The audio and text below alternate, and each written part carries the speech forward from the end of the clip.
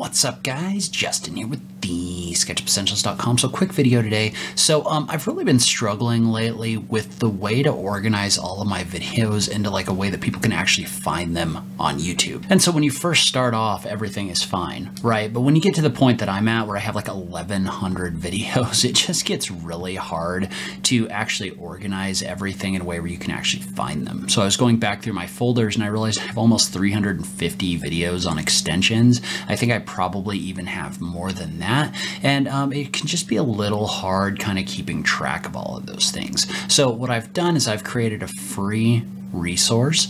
Um, basically what it is, is it's a, uh, it's a document where I list out all of the extensions that I've actually done tutorials on. I link to all of the extensions, I provide a description of them, and I also link to the tutorials that I've done. So what it does is it's a tool that really helps you find um, what you're looking for when it comes to SketchUp extensions. You can also browse through the list and see if there's anything interesting that you want to check out as well. So um, that's something that I kind of put together. I may try to do something with like SketchUp tips as well, but I want to see how this works out. So if you're interested in checking out that list, it's got almost 150 separate extensions on it. You can check out that list at the sketchupessentials.com slash extensions if that is something you're interested in checking out.